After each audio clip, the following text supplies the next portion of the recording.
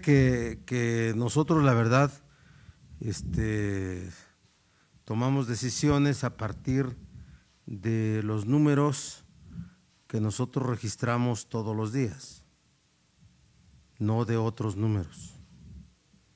Y para nosotros la fase 3 en Puebla empezó tres semanas antes que la federación lo dijo. Eso así, así es. Entonces yo no tengo información de lo que diga el, subsecretario López Gatel para tomar decisiones. Entonces la curva que del que aquel habla, pues es, son datos de él. Nosotros aquí tenemos clarito cómo están ocurriendo las cosas. Empezamos a seguir el contagio desde que apareció el primer caso. Desde que apareció el primer caso. Después cuando llegaron los señores que estuvieron fuera del país, que plagaron, implantaron la enfermedad, ahí se detonó todo, ¿sí? aquí en la ciudad. Y, y después fuimos viendo cómo subió el contagio de 5, después íbamos a 10, después fuimos a 15, a 20, a 30, se subió a 40, a 50 y ahorita vamos en 60.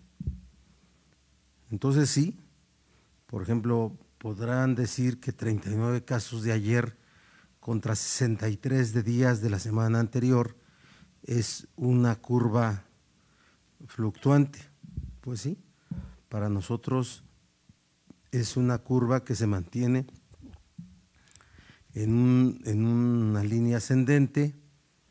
Y yo lo que veo, lo que yo, para nosotros, lo que nos llama esa curva es a nuestra capacidad para atender a los contagiados.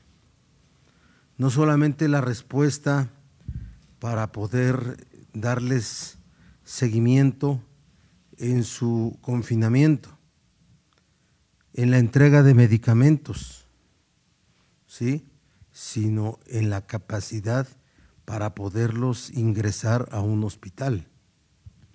Para mí, un número de contagiados hoy representa potencialmente la posibilidad de que todos lleguen a un hospital. ¿Sí? No es así. Lo entiendo perfectamente que no es así, porque la mayoría de los casos de contagios pues se resuelven en su propio domicilio con la atención que les brindan los servicios de salud, públicos en su mayoría o algunos privados. ¿sí? Son síntomas leves. Y entonces, pero para eso no sirven, para eso no sirven. Las cifras, las curvas te hacen ver en un salón cómo está el problema. No, no, no, no. Nosotros aquí lo enfrentamos. Todos los días lo enfrentamos. Tenemos seguimiento casi hora por hora de cómo van evolucionando las cosas y qué problemas administrativos tenemos y qué medicamentos nos empiezan a faltar y qué infraestructura médica nos hace falta. Por ejemplo, ¿cuántos hospitalizados tiene, tiene este, este ISTEP? ¿18? 19. 19. ¿Sí? Me falló por un número. Ya tiene presión, porque tiene siete u ocho ventiladores disponibles. ¿Qué tenemos que hacer?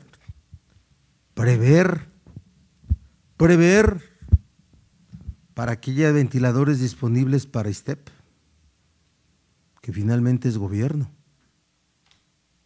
Entonces, la verdad, ¿para qué me preguntan? ¿Para qué me preguntan?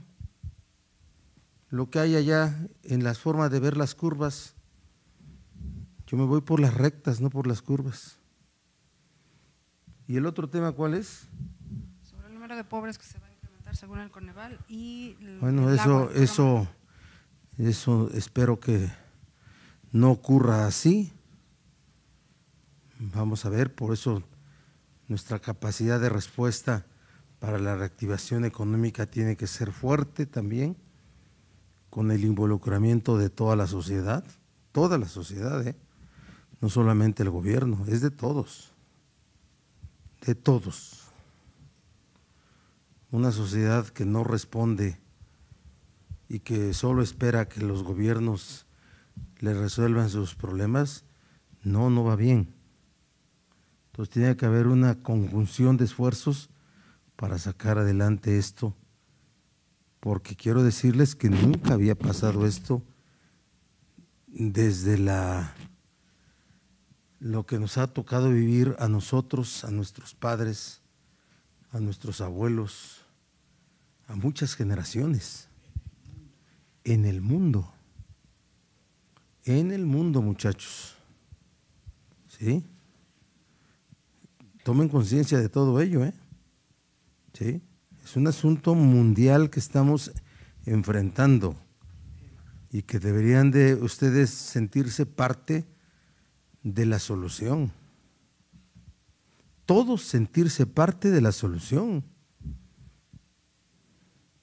No verse ajenos a la solución. Soy parte de la crítica, dicen unos. De la crítica. Y ahí hay muchos nefastos y nefastas. ¿Sí? Que ejercen su derecho a la crítica, legítimo derecho, ¿sí? Y solamente hacen eso hacen eso. Hay que verse como parte de la solución, no solamente, no solo de la crítica. ¿Y el último cuál es, Verónica? Sobre el programa de agua, si se tiene bueno, es, es, un asunto que, que, ahorita se implementó con enormes esfuerzos económicos y participación de, de muchas partes, que no podía uno estar recomendando higiene a las personas si no tenían ninguna posibilidad de tener agua. ¿Verdad que sí? Solamente estar tomando café desde una azotea, viendo las cúpulas de los árboles y estar tomando café con una taza de promoción a un personaje cuando tengo el problema enfrente.